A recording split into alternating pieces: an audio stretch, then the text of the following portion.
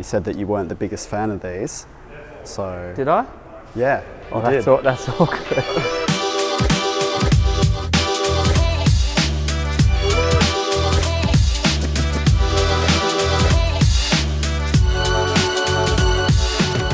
Here we are with something new and exciting. So Nick, in our 10 year anniversary video, you said that you weren't the biggest fan of these. So two, I- two questions to start off with. yeah. Why'd you buy one? And has your mind been changed? Um, I can't I can't remember saying that, but uh, I insert, guess. insert clip. And the 200s, they that was I don't want to say it. 300s are amazing, but feel like that was the sort of the last Land Cruiser. yeah like- proper Land Cruiser, and yeah I, I guess because the, I had the 200 before, such a great car. Um, we needed a seven seater. I've got three kids, and they want to bring their mates around and whatnot.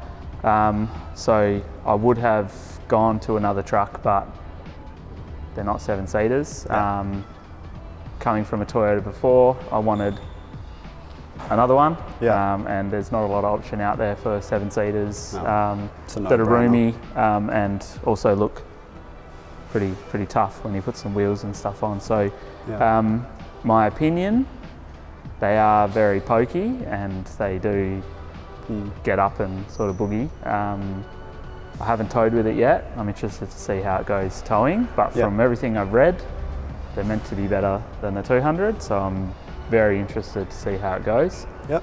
Um, as you can see, we've done a few small yeah, things. you've so- um, you've done a little bit to this. Super, super observant viewers will have noticed I was away for a little bit.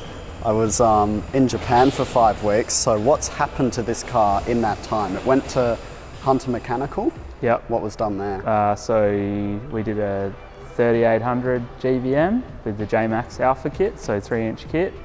Um, and then the guys at Ian Diffin in Belmont um, put on some impact 17 by 9s and 35 by 12 and a halves tyres. I think it looks looks pretty killer as it sits. Looks tough. Uh, don't mind the the cute nudge bar that's that's going. Uh, we've got an ARB bar that's going on that. Um, but this isn't going to be like a touring rig or anything like that. It's purely to do a bit of towing, um, tow the boat and stuff like that, Yep. and cart the kids around and whatnot. So yes, some may say shopping trolley. That's cool. Whatever. That's exactly what it is. Yeah, yeah, it is. Um, and then we've wrapped it in Ultimate Fusion, um, being like a flat black colour, scratches super easy. So that was sort of the first thing we wanted to do. yeah. Um, and then it's been tinted with XPEL XR Plus ceramic window film.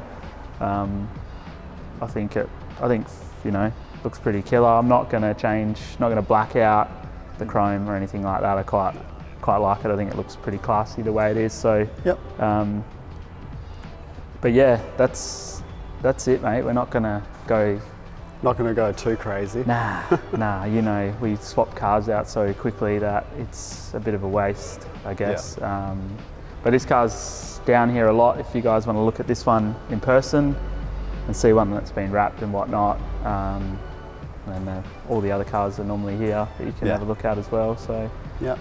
and then I guess some of you may see that we've got cream interior instead of black. Some would say it's a bit of a risky decision, but um, Interesting. Inter- interesting choice with uh, with three kids. Yeah, I mean, I'm pretty confident that the protection products are going to hold up, no problems. It's Yep. just an on- ongoing maintenance thing.